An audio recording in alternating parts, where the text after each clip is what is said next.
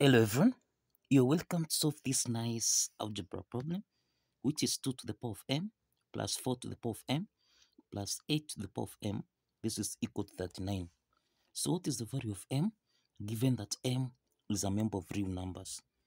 Now let's provide a solution from here. Now we have 2 to the power of m plus 4 to the power of m. This can be expressed as 2 to the power of 2, then raised to the power of m, then plus 8 to the power of m. This can be expressed as 2 to the power of 3, raised to the power of m. This is equal to 39. Now, 2 to the power of 2 to the power of m and 2 to the power of 3 to the power of m. This is in the form of a to the power of n raised to the power of m, which we can express as a to the power of n multiplied by m. Applying this exponent property, then here we have 2 to the power of m plus 2 to the power of m raised to the power of 2, then plus 2 to the power of m raised to the power of 3. This is equal to 39. So 2 to the power of m is common here, so we can let 2 to the power of m be equal to u. So let's substitute u where we have 2 to the power of m. So that now we have u plus u squared plus u to the power of 3. This is equal to 39. So we can write this as u to the power of 3 plus u to the power of 2 plus u. Now let's take 39 on the left hand side. So this is minus 39. This is equal to 0. Now, we have u to the power of 3 plus u to the power of 2 plus u minus 39. This is the same thing as minus 27. We have minus 27 minus 9 minus 3. This is equal to 0. Alright, so we have u to the power of 3 plus u to the power of 2, then plus u, subtract 27. 27 is the same thing as 3 to the power of 3, then subtract 9, which is 3 to the power of 2, then minus 3. This is equal to 0. Now, we have u to the power of 3 here and 3 to the power of 3, so we can express this as u to the power of 3 minus 3 to the power of 3, then plus u to the power of 2 subtract 3 to the power of 2 then plus u minus 3 this is equal to 0 now we have that from the first part here. This is the difference of two cubes expressed as a to the power of 3 minus b to the power of 3 and the second part here this is the difference of two perfect squares expressed as a squared minus b squared. So in this case, we have a to the power of 3 minus b to the power of 3. This can be expressed as a minus b.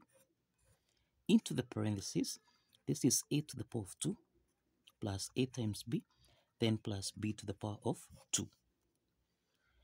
This implies that u to the power of 3 minus 3 to the power of 3 this can be expressed as u minus 3 into the parentheses.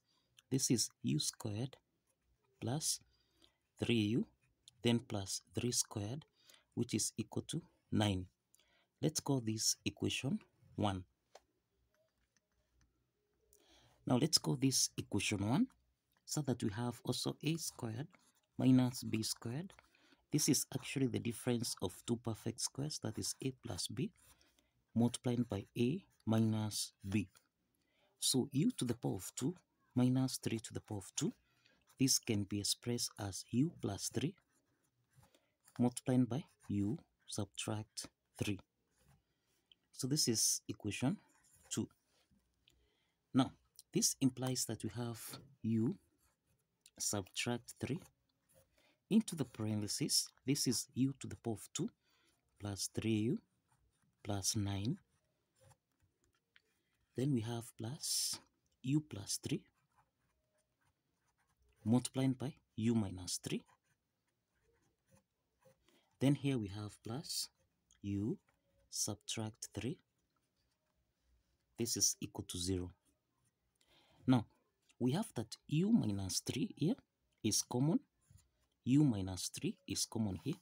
So we can factor out u minus 3 now into the parentheses here we have u to the power of 2 plus 3u plus 9 then here we have plus u plus 3 then plus here we have 1 close the parenthesis. This is equal to 0 so we have u subtract 3 multiplying by here we have u squared plus 3u plus u. This is 4u then plus now we have 9 plus 1 this is 10 plus 3 this is 13 so we have plus 13 this is 13 cross the parentheses this is equal to 0 now we have got two parts here. The first part is u minus 3 this is equal to 0 and the second part is u squared plus 4u plus 13 this is equal to 0 now from the first part here we have that u is equal to 3 and from the second part here, we have a quadratic equation of the form a u squared plus bu plus c. This is equal to 0. From this quadratic equation, we have a is equal to 1, b is equal to 4, and c is equal to 13. So we need to assess the nature of the root of this quadratic equation by determining the discriminant value, which is actually b squared minus 4 AC. So let's substitute the values of A, B, and C here so that now we have 4 squared subtract 4 times A which is 1 then times C which is 13. So here we have 4 squared this is 16 minus 4 times 13 this is equal to 52. So we have that 16 minus 52 this is minus 36 and this is less than 0. And this implies that here we have two complex roots. We have two complex roots. And therefore, this means that there is no real solution that can be obtained from this quadratic equ equation. Therefore, the quadratic equation part is rejected. So we reject the quadratic equation. And let's focus on u, which is equal to 3. So if you recall, if you recall, we seen that let 2 to the power of m be equal to u. Right? So we have 2 to the power of m, this is equal to u, and u is equal to 3. So we have 2 to the power of m. This is equal to 3. To solve for m here, we introduce logarithm on both sides. We have log 2 to the power of, that is 2 to the power of m. This is equal to log 3. So log 2 to the power of m, this is in the form of log a to the power of n, which we can express as n log a. So applying this power rule property of logarithm, then log 2 to the power of m becomes m log 2 this is equal to log 3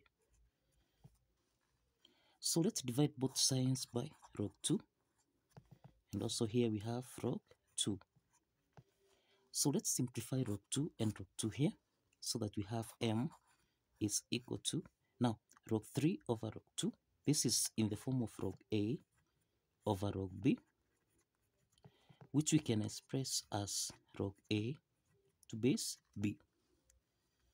Now, applying this property, then here we have m equal to log 3 to base 2. So this is the value of m.